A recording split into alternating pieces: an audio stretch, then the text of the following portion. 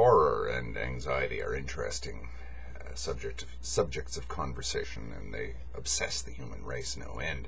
I think that most people deal with horror and anxiety, uh, panic, terror, that sort of thing, in a kind of a haphazard way. Um, we dabble in it. We um, do little things to stir up a little bit of it in us from time to time.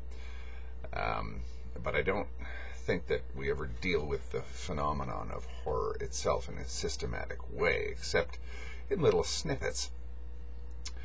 Um, what interests me is the, as I've mentioned, is the idea of existential horror, existential panic, the horror at being alive, the horror at existing, not just being alive, but the horror at actually existing. Now, I have to point out here at the beginning that not everybody has experienced this, and some people, when they hear about existential panic, they sort of think this person is just plain crazy, which is possible, I suppose. Um, but it is a real phenomenon, whether or not uh, people recognize it as such. Uh, if they've never experienced it, then they simply have no way of knowing what you're talking about when you refer to things like existential horror. Um, but uh, angst, anxiety, is one of the central themes of the existentialists, and uh, it's something that interests me. Uh, in particular, um, fear and horror as motivators.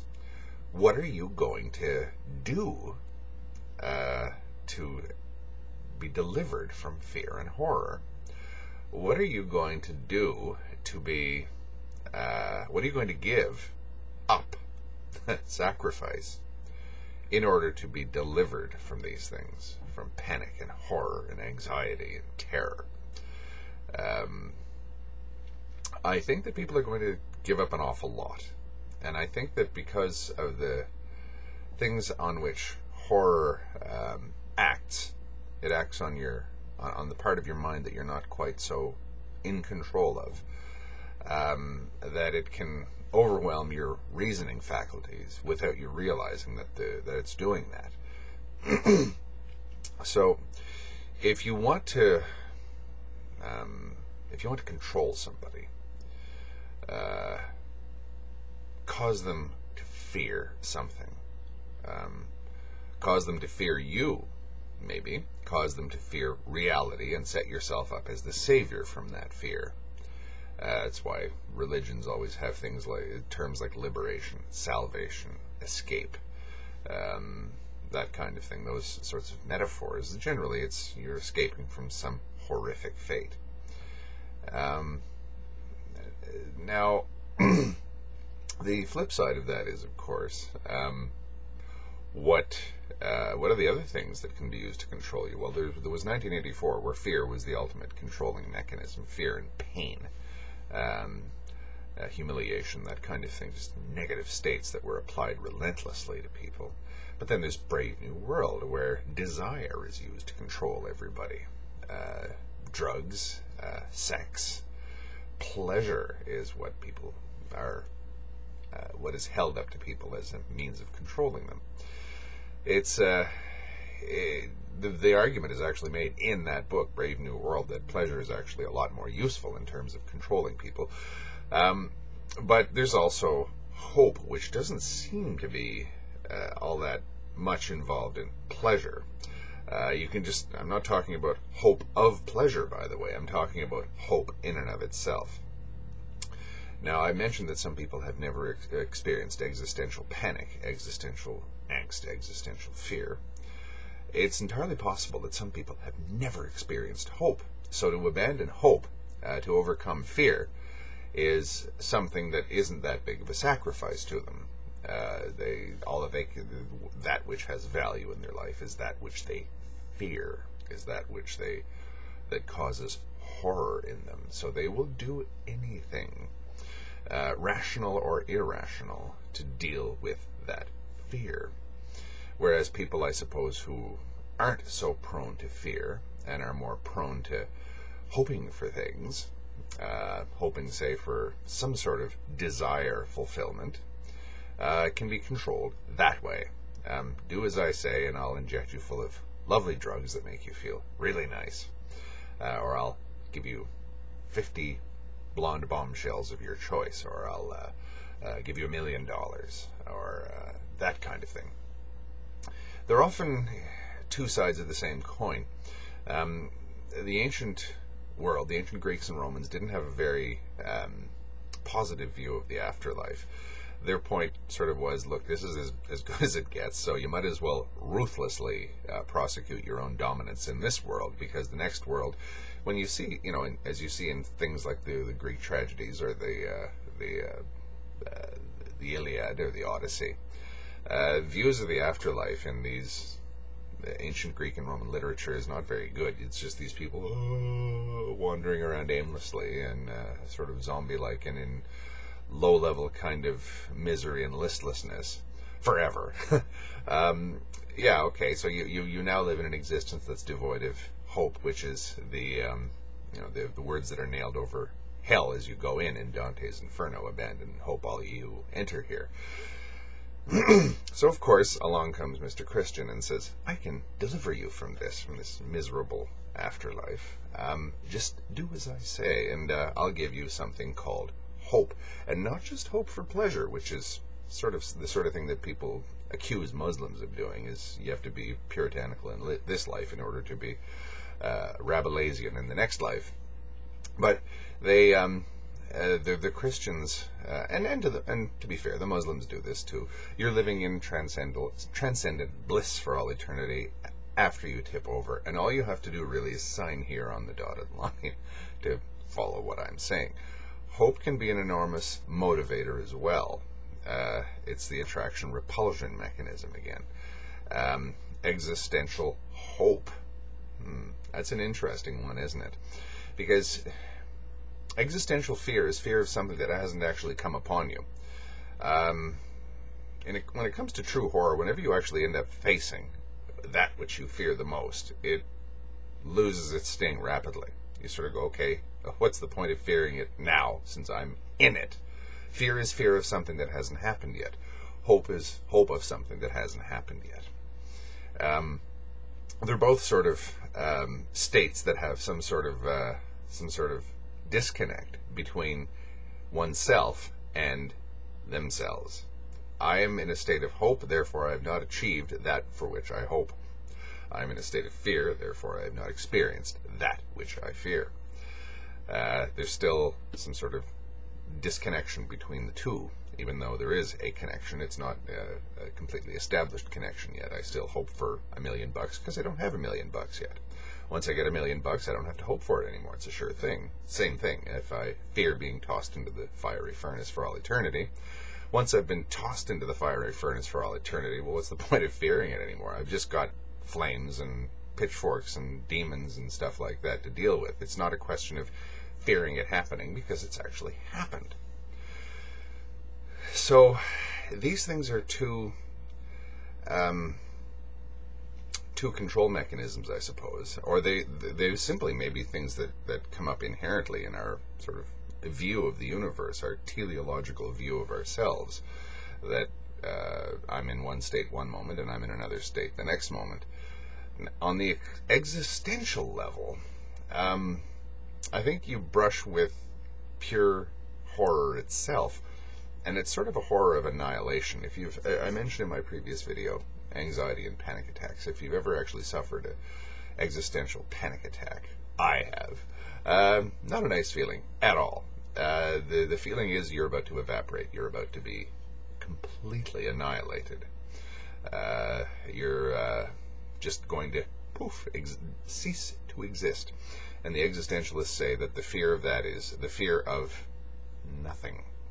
Uh, you're not even going to be you know, you're not even going to uh, uh, go anywhere. You're just going to cease to exist. You are you are going to not just step into a void. You are going to become a void, a vacuum, nothing.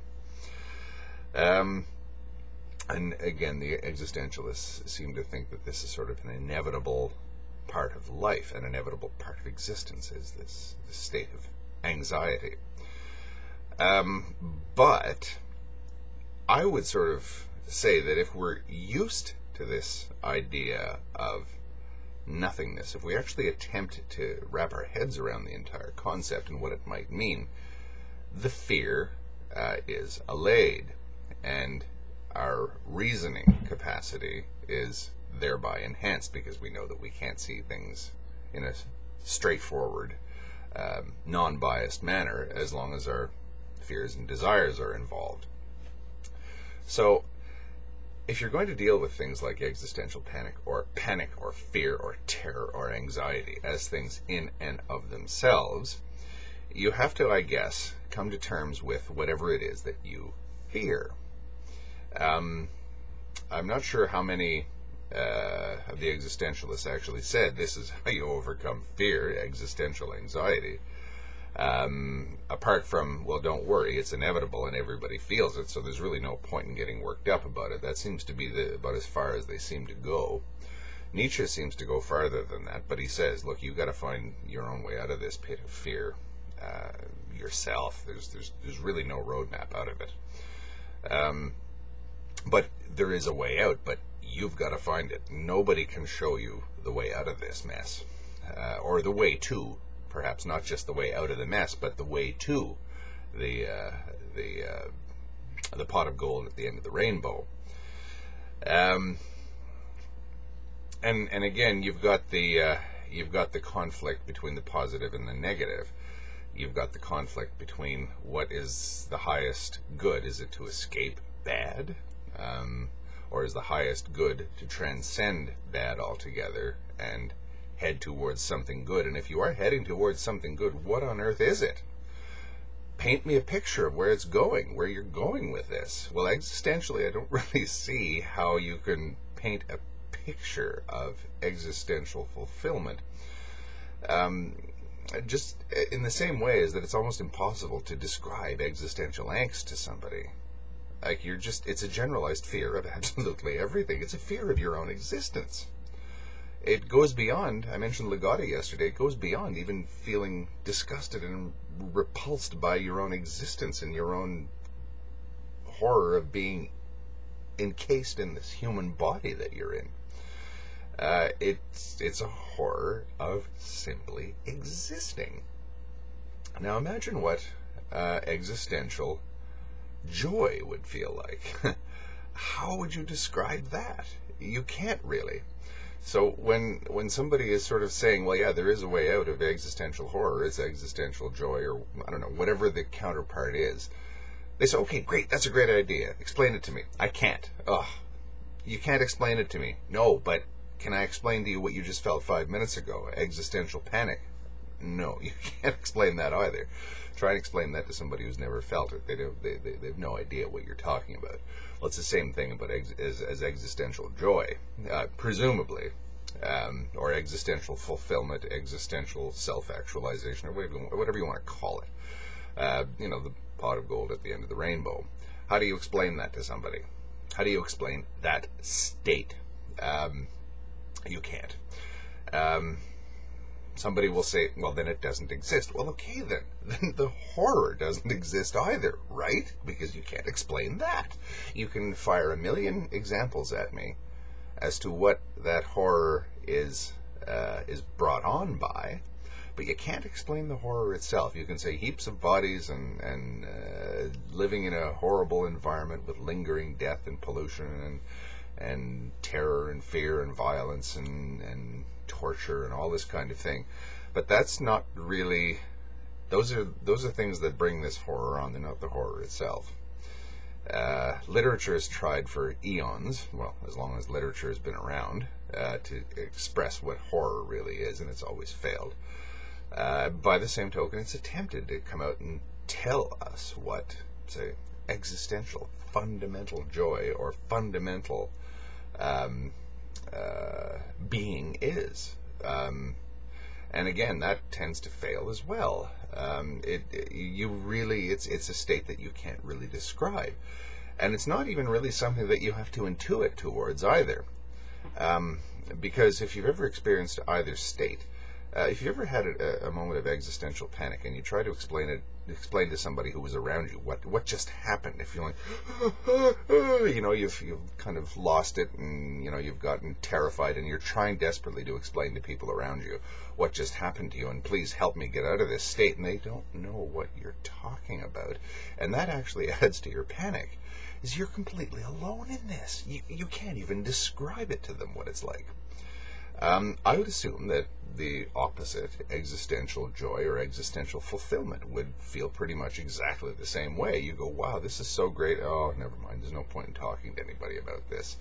Um, it's like shooting up, I suppose, is a crude analogy, um, or you know, snorting cocaine or something like this just try and explain what you just experienced to somebody who hasn't done that. They don't know what you're talking about, and they can't know what you're talking about. Uh, words fail miserably in a, in a, in a state like that.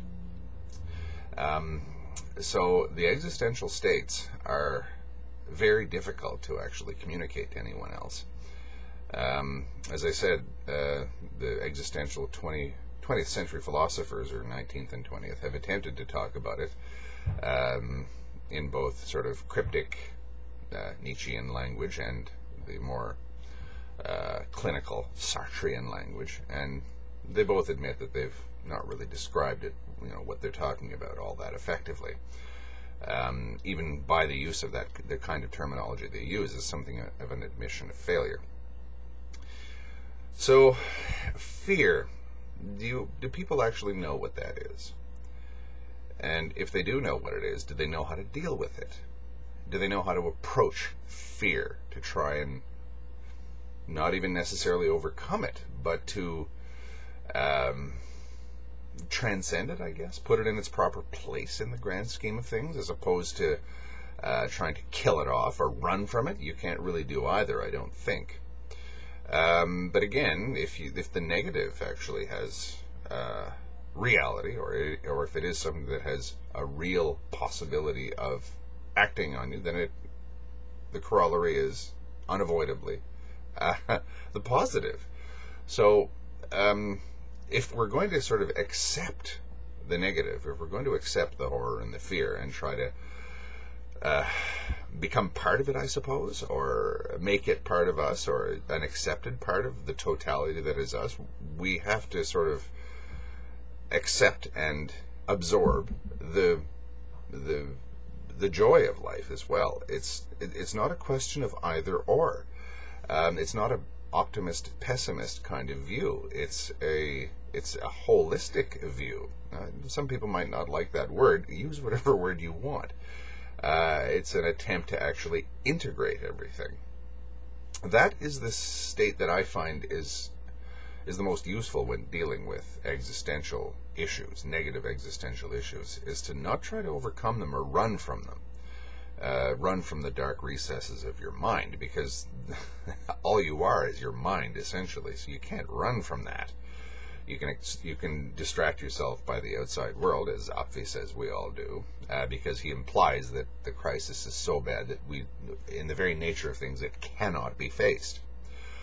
Other people say that it can be faced, and that escaping from that moment of primal horror is part of what we are, part of a, a, or at least a desire that we have. But facing it ultimately is a lot better because when you face it, you also unlock uh, the door to the positive. Another ramble.